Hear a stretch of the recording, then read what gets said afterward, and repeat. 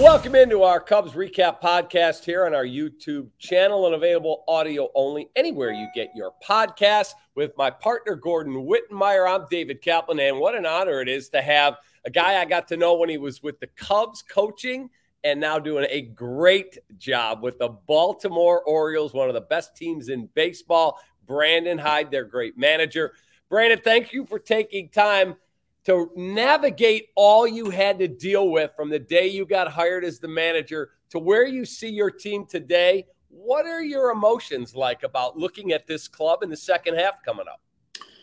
Yeah, well, I'm proud of the start we're, you know, we're on right now and, and how we played so far this year. You know, we played pretty good baseball here since May of last year, and um, it was a tough few years. You know, just like in Chicago those days, there was it was tough few years there. Um, but we've gotten a lot more talented, and our front office done a great job of drafting, and they've made some good pro decisions, and uh, just like how our team has come together. Honestly, I think we're an exciting team to watch. Uh, I, you know, it's it's a lot of homegrown guys right now, and uh, sprinkled in with some good veteran players, and and uh, we're off to a good start. Yeah, it's crazy. We talked about you and I talked when you came into Chicago last year, when you were starting to make noise and people were starting to pick up on what you guys had going on just young talent everywhere. And I think Rutschman had just come up. Mm-hmm. Now all of a sudden we see these other guys. Mm-hmm. Gunnar Henderson, Grayson Rodriguez was up for a while. Yep. Back down. Jordan Westburg came up when uh, the Reds were in there. Uh, mm-hmm. I saw him uh, debut for you guys. And, and who's this new guy, Colton Cowser? Yeah, Colton Cowser was a first round pick a couple years ago out of college. Really talented player, also. So, yeah, no, it's you know things changed a little bit, you know, a lot when Natalie got here and um, Adley was Mike's first pick and the one-one pick of that 2019 draft, and um, you know had was kind of a celebrated college career and was kind of a consensus number one guy at that time, and and he's come here and played extremely well and changed helped change the culture here um, of just you know a winning attitude, a guy that you know and from being behind the plate also being in our division uh, we just really struggled pitching and pitching to these type of lineups in the American League East. And uh, Adley helped change that, honestly, be behind the plate, helping these guys out, and and he can really hit too. So a lot of talented guys here right now. There's more coming too. I mean, if you look at the futures game, Jackson Holliday, Matt Holliday's son. That's right. He's yeah. up to a huge start in high A. He's only 19. We got Heston Kjerstad was the number two pick in 2020. He's killing it in AAA right now, also offensively, and there's more. So uh, they've, they've done an amazing job drafting hitters, and all, these, and all these guys are hitting in the minor leagues too. It's not just not just kind of hype. It's these guys are producing in the minor leagues and putting up massive numbers, and and uh, so that's that's you know, organization's really healthy right now. Man, let me ask you this question, Brandon, because I remember a couple of executives saying to me, there really are no bad plans in Major League Baseball it is the impatience of the people above the front office and the field manager and his staff from staying loyal to said plan. So, ah, we didn't win for two years, change this. Ah, we didn't win that year, change that. He said, if you really stay loyal and believe in your plan and your people, you will eventually be rewarded. The Baltimore Orioles are a perfect example of we're going to set a direction. Yes, we may have some growing pains along the way, but if we do our job properly, we're going to be rewarded. How does an organization not only make that determination, but stick to it? Yeah, that, that that's a great that's a great way to say it. Honestly, well, Mike Elias came from Houston, and he had already been through it. He'd already kind of seen the process and, and them not being them being bad for a few years and staying kind of true to drafting correctly, um, having patience with players, putting together the right player development system. And that was really his focus the first few years. I'll be 100% honest, he was way more patient than I was. Now I'm living it every night and having to answer why we stink and all these things on a nightly basis. And that's hard to do. And that took a lot of support. I had a lot of support around me, honestly, um, with some good friends on the coaching staffs that people kind of, you know, him, honestly, him, him, um, being very, very realistic with, listen, we're just not as talented as these other teams, and there's nothing you can do about it. Because I would take it hard, and it'd be hard. For, it'd be hard on a nightly basis. The way the the way the Yankees and the Blue Jays and the Red Sox and you know, the Rays, these teams were were playing them half the t- half our games. It, it was we are overmatched in a lot of in a lot of nights, and and so that was that was tough to swallow. So him just being more patient than me, honestly, during that time and having patience with me to kind of grow also, I think I really appreciate and, and look back on those days and have a lot of respect for him for that. Yeah, I'm going to, with, I mean, with serious respect for what you've accomplished there with those young players, especially in that division, I'm going to push back a little bit on your executive cap because you stick long enough with a plan, things cycle in sports. I mean, of course, it's going to come around I mean, Pittsburgh eventually won. Took 20 years, but they stuck to their plan, trading guys all the time as soon as they got expensive. I mean, the, th- the thing is, especially when you know, and we've seen this this this idea of like stripping it all down. That's actually that's an easy way to get a lot of talent. What's not easy is what you're doing, Brandon. Is is when the time comes, getting something out of these guys, and and uh, having as much success per, percentage wise. Like a lot of these guys have hit, if not damn near all of them. And, and it's what's most impressive to me is you alluded to it. How do you do that in that division of all divisions? I think last time I looked, every team in that division this year was 500 or better. And it was damn near that last year when you guys started breaking through. Yeah, I think I read something yesterday. I think in the last 162 games, we've won 97. So over the you know, the last baseball calendar, we've won almost a 100, 100 win team at this point. And how we do it, I, I, I just try to be as consistent as possible. I think we have a really good coaching staff. I think we have a great environment in our clubhouse. I think a lot of people say that, but I do believe that we do, and that there's a it's a relaxed atmosphere. Um, try not to get too high. Try not to get too low. You're just focused on the night's game and kind of the process of being, you know, doing the right things on a nightly basis and a lot of coaching. I mean, a lot of coaching at the major league level. Uh, people think that we roll the balls out there with major league players. That's not the case at all. There's, there's, uh, especially with the way we are right now, we are we're getting guys to the big leagues kind of quick, and so there's still so much teaching going on on a nightly basis. So you got to have really good coaches around you that care, uh, that care about players, care about the, the people. Um, and they kind of if you set that environment with with good people around you uh, and that are super competitive also and that want that, that want to win and it matters um, you know we are where we are. So i'm just you know proud of all that kind of proud of how far we've come and and um, yeah now we're in minnesota and we're trying to trying to win a series before the break. Hey, so, can i can i ask just one follow-up to, to that?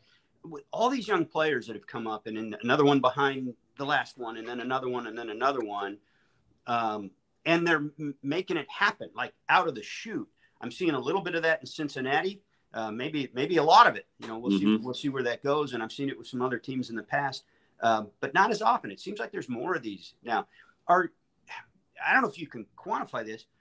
Has what's your observation on some of the younger talented players today? Is whether it's their generation, whether it's them individually or changes in the game, are they better equipped to succeed more quickly than maybe past generations for whatever reason?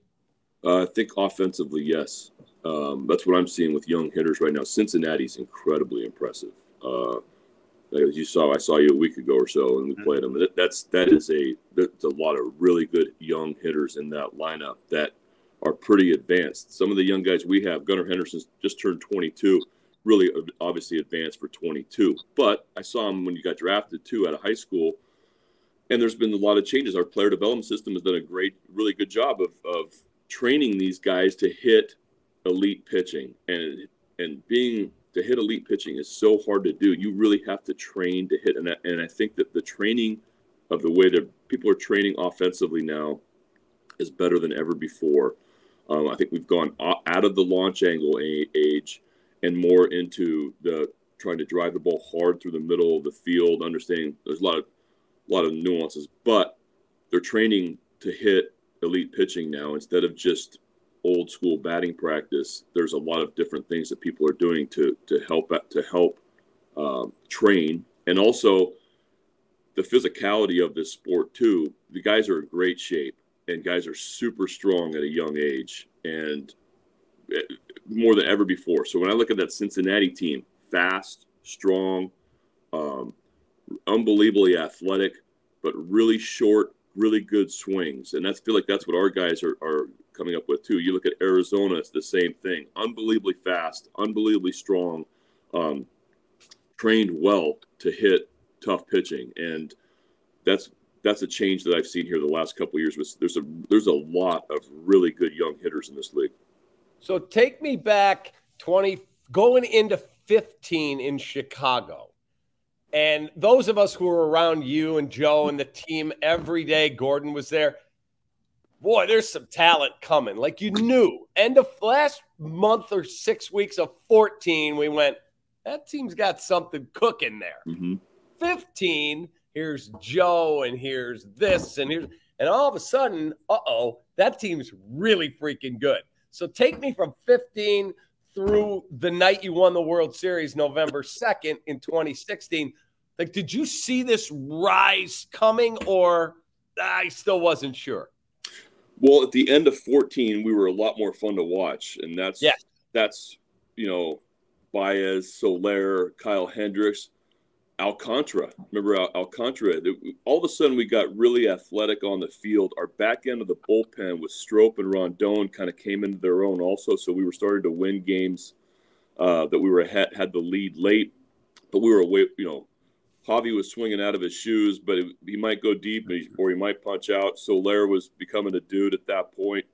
Um, the farm system, you know, Theo and Jason, J Mac and Jed, Shiraz, Scott Harris, these guys, they drafted really well. Um, there was, I think, we became the number one farm system at some point, 14, where um, all of a sudden we started getting a bunch of really good hitters. It's very similar to this, and uh, and make the trade for Addison mm-hmm. Russell. Um, all of a sudden we got shortstops that Eloy Jimenez is down in A ball, Gleyber Torres is down in A ball. Um, so all of a sudden we have shortstops all the way down through the system.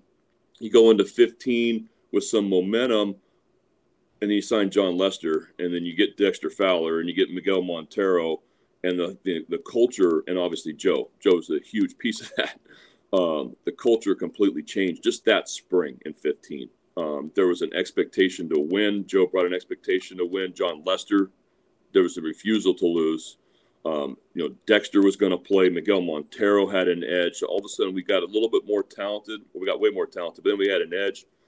Bryant was in spring training in 15. I think he hit 10 homers in spring. They sent him out at the end of camp. That was a big story. Yep. But all of a sudden, yep. week of the season, here comes, you know, we got a pretty talented team. We feel like uh, with Jake Arrieta coming into his own too at the end of 14.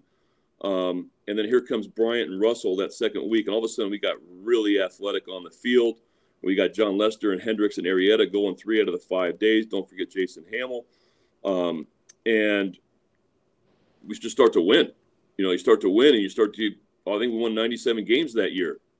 So I think the right. I, Theo and his group did an amazing job of surrounding those young, talented players with awesome veteran guys. That's what I, I, I, go back to in those 15, 16 years. We had amazing, crusty, edgy veterans that really helped out Javi, Addison, Rizzo, Bryant, Schwarber, um, they really brought those guys, Contreras in 16, they really brought those guys along. And because they were, they really held them accountable. Lester, Lackey, I remember Chris Denorfia was really good. Uh, uh, Miguel Montero, um, then then then then Zobrist. Then Zobrist changed the whole lineup in 16. So there, there was a, there was just a great mix. We had a great mix, a blend that guys really liked each other. Um, they pulled for each other. They got on each other. It was a, and they were and they had a hell of a lot of fun. We had so much fun in 15 and 16 um, that it was just a great time. It was one of the you know greatest greatest experiences of my life and the funnest time of my life. Would you have believed at the time in the in the in the aftermath of that championship with one of the youngest lineups in World Series history that six seven years later everybody but Kyle Hendricks would be gone from that team? I know. That was weird, honestly. Just going to Wrigley just this last couple weeks, uh, a couple weeks ago, and uh, that was somebody told me that that, that 16 team Kyle was a was, was the last one standing and um, crazy. Crazy yeah. Uh, you know well, let's let's give Rossi credit. Rossi was there. Um, yep. and that's player but Rossi was so impactful to those two years. Huge just refusal to lose pissed when we lost not accepting bad baseball um, openly. And that really was helpful. He was another coach on the field and coach in the in the clubhouse, but that that is strange that there's only one player left. Um, I don't know many people over there on the on the field anymore. Hottovy and Ian Happ, but but uh, yeah, that was different. Let me ask you this because Rizzo told me a story that he didn't hustle a ball out going to Pittsburgh one day. He said, I got back to the dugout. He goes, The guy I'm closest to and I idolize is David Ross. And he pushes him up against the dugout wall and said, We don't do that here. That will never happen again. Am I clear? He said, and it was colorful, it was profane, and it was needed. Mm-hmm. How do you, as a manager, empower your veterans to do something like that, knowing it's going to ruffle some feathers, but it's important and it builds culture?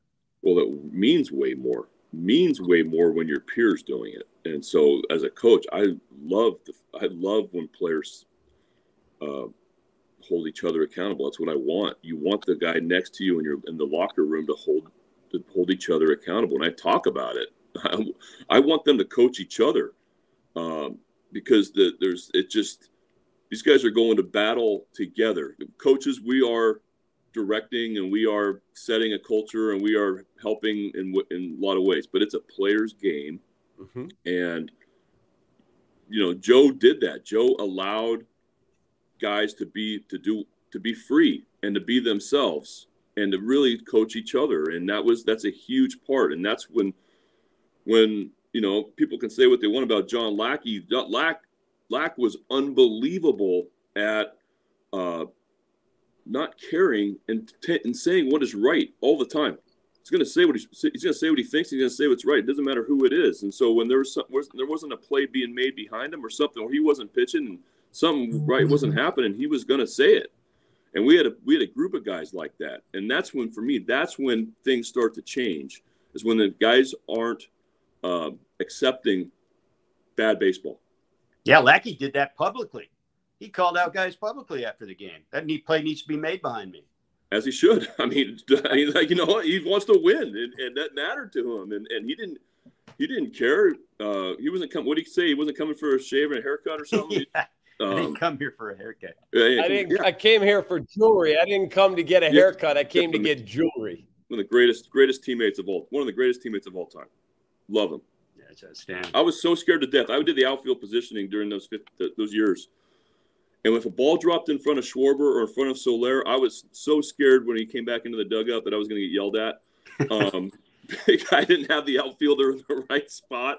So man, I was on him and Lester. I was on my toes. Everybody was on their toes when they were on the mound because you want to make sure that, that they, everybody was in the right spot. Man, hey, wait, but you've seen. Um, I think you guys have seen four of the five teams in the NL Central this year. Um, what do you what do you make of uh, your old division right now, and and who, who do you like? Who do you don't? Who do you not like as we go? What the last eight, 75 games or whatever it is. Well, I wish we would have played them better. We have not played this National League Central very well, and, and that's been disappointing because we played most other divisions very well. It's crazy because it's such a crap division. Well, I, I don't know. I'm not. I'm not sold on that. Cincinnati's the real deal, and uh, that is a tough lineup to pitch against, and a really athletic, fun team. And I think that that's. I think they're they're going to make a lot of noise in the second half. I think the Cubs are better than people think. Um, I think that they have a chance to pitch. We'll see what happens after the deadline. But if you run into Stroman and Hendricks uh, and Steele, that's a tough three. That's a very very tough three game series. Taillon pitched well against us. I mean that's that's that's a, and then Alzolay at the end. Uh, the lineup's athletic. There's guys that can go deep on you. So I think they were they were a better team than people think. Milwaukee, you could run run into Corbin Burnes, which we did. He shut us down. Um, I know he's not having the same year as he has before, but they've they've always had good starting pitching. Uh, so I don't know. I think that uh, we haven't played the division very well, but Cincinnati was really really impressive to me uh, last week.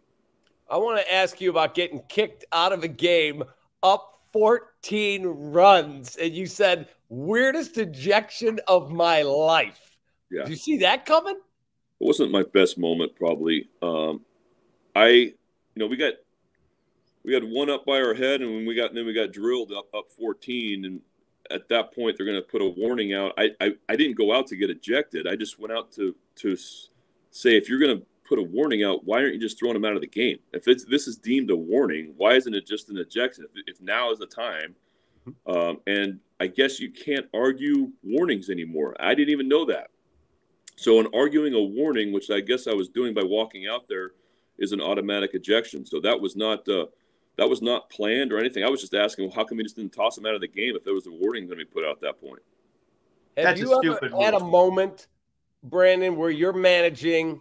Maybe it's a tough season as you're building, and you're like, you know what? I've watched enough. Kick me out of here, and gone out and gotten kicked out. Happened once, yeah. Tell yeah, us. That. I just didn't want to watch it anymore. Yeah, had enough. Team was team was playing. We are not good, and team was playing terrible, and and I was just I, I was just I some, things weren't going our way, and I just it was that was it was time.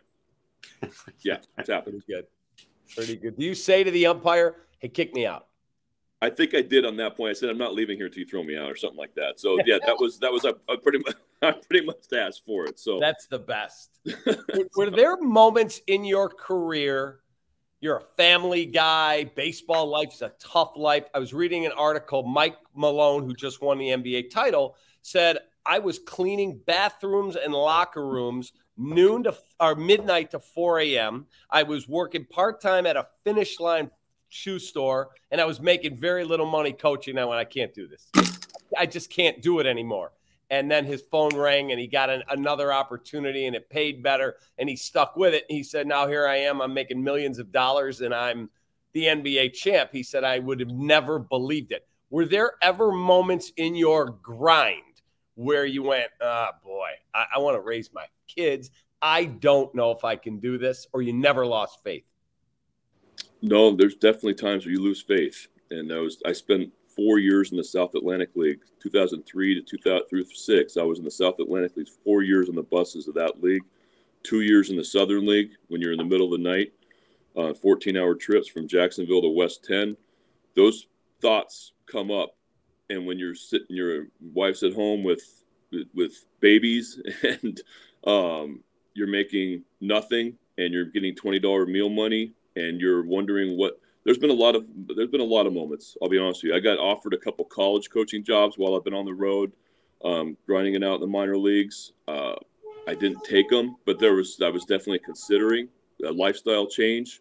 I put i out of out of when i coached at long beach state when i was 29 years old done playing i didn't know what i was going to do with my life. I, I was applying at police station. So i applied at lapd long beach police oh, wow. department la sheriff um, and then all of a sudden, the Marlins called to have me coach and to make nothing as an A ball hitting coach. So there's been a lot of things. I mean, I was bartending, not making any money coaching as a grad, as grad school or grad, was it undergrad? A grad uh, assistant. Yeah. Yeah. 30 years old.